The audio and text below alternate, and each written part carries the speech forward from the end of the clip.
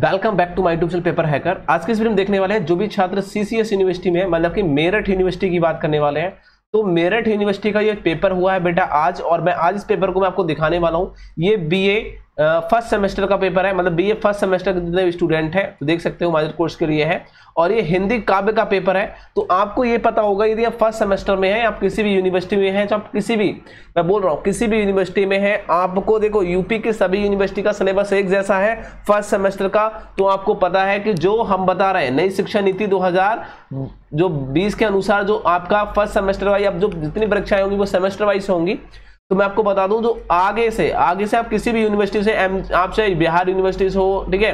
किसी भी यूनिवर्सिटी से तो सभी छात्रों के लिए कहना चाहूँगा अब पेपर बिल्कुल सेमेस्टर वाइज हुआ करेंगे और देखो पिछहत्तर नंबर का पेपर है और ये मेरठ यूनिवर्सिटी का है। सबसे बड़ी खबर तो आपके लिए ये है कि आपको मेरठ यूनिवर्सिटी का हिंदी काव्य का पेपर देखने को मिल रहा है और आप किसी भी यूनिवर्सिटी से हैं या फिर आप 2022 या 2023 या फिर 2024 22 का पेपर है ये और 2024 2025 में आप पेपर देने वाले हैं तो इन पेपर को ज़रूर देख के जाना कि हिंदी काव्य में क्या क्या पूछा है, ठीक है? और हम प्ले बना रहे हैं प्ले का लिंक भी डिस्क्रिप्शन बॉक्स मिल जाएगा।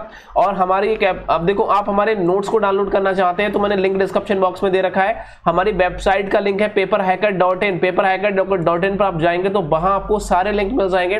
पहला पेज ही खोलेंगे तो आपको बहुत बहुत ज़बरदस्त तरीके से हम बना रहे हैं और प्रवेशियर के सारे पेपर हम वहाँ अपलोड करेंगे। आप ध्यान से देखकर अपने आराम से प्रवेश के पेपर देख पाएँगे, बड़े आराम से, ठीक है ना? सारे पीडीएफ बना के हम अपनी वेबसाइट पर लॉन्च करेंगे। हमारे नोट्स को डाउनलोड कर सकते हैं, उसका भी लिंक डिस्क्रिप्शन बॉक्स में दे रखा है। हमारी सिंपल तरीके से गूगल पर सर्च करिए पेपर हैकर डॉट इन आपको मिल जाएगा, ठीक है? Paper hacker dot in okay space नहीं देना है। अब यहाँ देख सकते हैं कि पाँच परसेंट पूछे गए थे, तीन, आपके तीन नंबर के हिसाब से आपको पिछहत्तर शब्द में अति लघु उत्तर मिले। शॉर्ट क्वेश्चनों का आंसर पिछहत्तर वर्ड में देना होगा।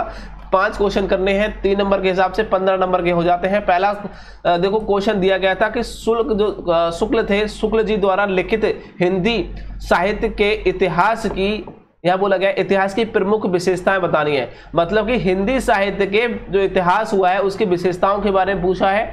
वहीं आपसे भारतेंदु जो युग था, उनके कविता कविता की विशेषताओं के बारे में पूछा है। भक्तिकालीन कृष्ण भक्ति धारा की विशेषताओं के बारे में पूछा है। और वहीं रीति मुक्त कविता में जो कह सकते हैं, घनानंद थे, उनके महत्व के बारे में पूछा है। और अग्ग की जो प्रयोगवाद का जो कह सकते हैं, विवर्तक प्रवर्तक थे कहा जाता है अग जी को प्रयोगवाद का विवर्तक कहा जाता है। ये स्पष्ट करिए क्यों कहा जाता है? तो इसके ऊपर ये क्वेश्चन आए थे। ठीक है?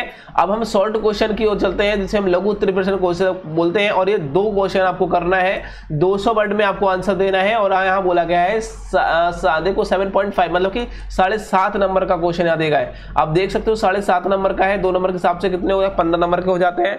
और यहाँ आप देख सकते हैं कि पहला जो क्वेश्चन इस तरीके से बोला गया है, और इसका आपको आंसर देना होगा। देख लीजिए एक बार ध्यान से, और देखो सातवा, आठवां क्वेश्चन तो इसमें यहाँ सिंपल तरीके से ये नहीं बोला गया है इसमें आपको क्वेश्चन करना क्या है? पहले तो ये जान लेते हैं। ये क्वेश्चन इस तरीके से आपको दिया गया है तो इसमें करना क्या होगा दो क्वेश्चन में?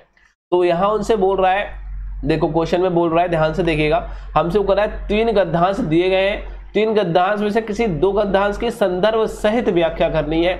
मतलब कि ये जो है ना, वो ये कहाँ से लिया गया है और इसके राइटर कौन है, लेखक कौन है और इसमें कौन कौन है, उसके बारे में पूछा गया है, ठीक है ना? समझ रहे हैं मेरी बात को? तो आप ये देखेंगे कि किसने लिखा है, कौन सा राइटर है ये चीज़। अब देखो, इन्होंने घनानंद ये बोल रखे इन्होंने लिख रखा है कि ये जो यहाँ से लेकर यहाँ तक जो कृति है, वो घनानंद के द्वारा ली गई है। तो घनानंद यहाँ देखो सिंपल तरीके से बोला गया है। तो आप इसको बता सकते हैं, घनानंद से ली गई है। तो ये चीज़ होती है। तो आपको याद करना पड़ता है, ये जो पंक्तियाँ हैं, वो कहाँ से ली गई है, किसके द्वारा लिखित है, और कौन से काव्य सही संदर्भ सहित व्याख्या करनी होती है। वहीं आपको देखो, यहाँ देखा गया है, विस्तृत उत्तर प्रश्न। उत्तरी प्रश्न की बात की गई है। विस्तृत उत्तरी प्रश्न का मतलब होता है कि नहीं, दो प्रश्नों के आपको उत्तर देना है। तीन प्रश्नों को उत्तर देना है। प्रत्येक के कितने के प्रत्येक पंद्रह नंबर का होगा। अब आप देख सकते हो कि यहाँ जो बोला गया है, वो पंद्रह नंबर का तीन क्वेश्चन आपको करना है।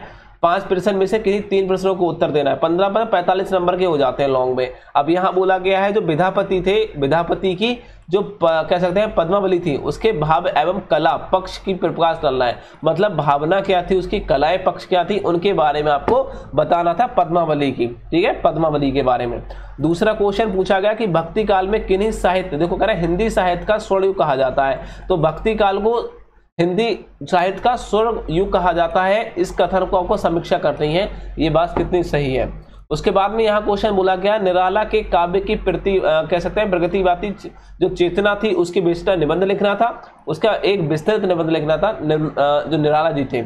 उसके बाद में है रीतिकालीन जो कवि थे उनके बिहारी जी है ना बिहारी जी के जो स्थान पर सर्वपरि थे उनके कथन को आपको उदाहरण सहित मतलब उदाहरण सहित आपको बताना है। यहाँ नेक्स्ट क्वेश्चन बोला गया कि धर्मवीर भारती का, की काव्य जो गत है, उसकी विशेषता के बारे में। ये था 2022 का पेपर अब 2023 2024 में पेपर देने वाले हैं। तो ये जो क्वेश्चन है, बहुत ज़्यादा इंपॉर्टेंट है आपके लिए। पूरा पेपर मैंने दिखा दिया, ये मेरठ यूनिवर्सिटी का है। आप इन तरीके से अंदाज लगा सकते हैं कि सारी यूनिवर्सिटी कैसे कैसे पेपर बना रही है। मैं सारे अपलोड कर रहा हूँ। आप चैनल को अभी सब्सक्राइब कर लीजिए और 2022 में जो आने वाले हमने क्वेश्चन दिए हैं बीए एजुकेशन वगैरह सब, आप चैनल को सब्सक्राइब कर बेल आइकन प्रेस करना। ज़्यादा से ज़्यादा दोस्तों को शेयर करना है। Thank you for watching this video bye bye दोस्तों चैनल को सब्सक्राइब कर लेना ओके